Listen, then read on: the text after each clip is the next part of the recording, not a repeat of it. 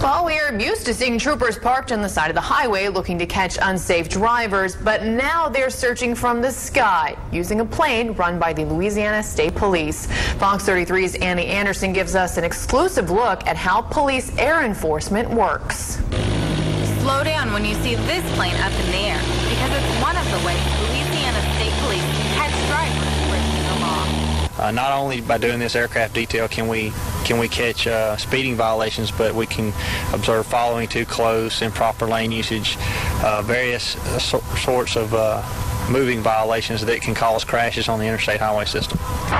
Louisiana State Police have picked this long stretch of highway along Interstate 20 just inside the Bossier Parish line because these long stretches of highway can lead to speeding, which can lead to very bad accidents.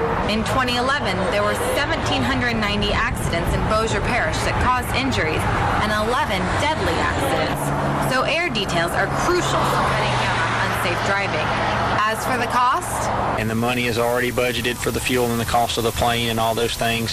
and people we spoke with in the Arklatex agree, the extra security is worth the money. and I think they're doing a wonderful job in protecting us. As for today's enforcement, with only three troopers, police were able to issue eight tickets for speeding and one for a seatbelt violation in one hour alone. In Bossier Parish, Annie Andersen, Fox 33 News, Arklatex.